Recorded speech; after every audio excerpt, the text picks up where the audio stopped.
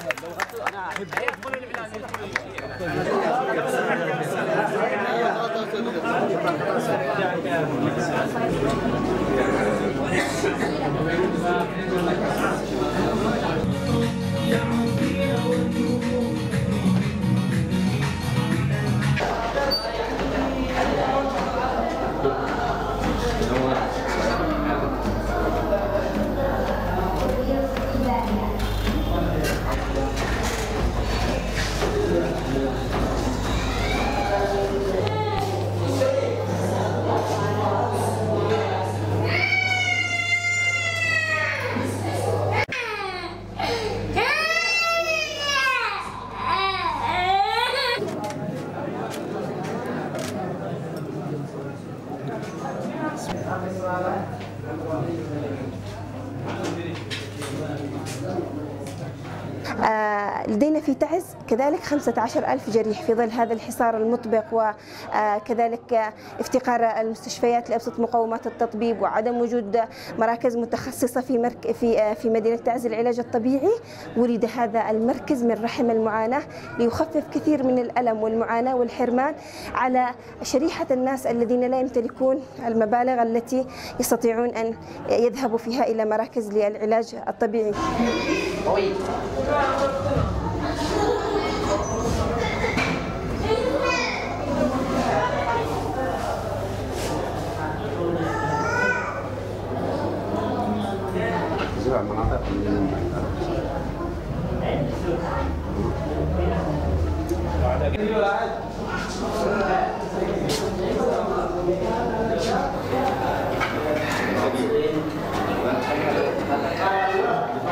المركز يقدم خدماته لأفراد الجيش الوطني للمقاومه الشعبية وأيضا المتضررين من المدنيين في محافظة تعز.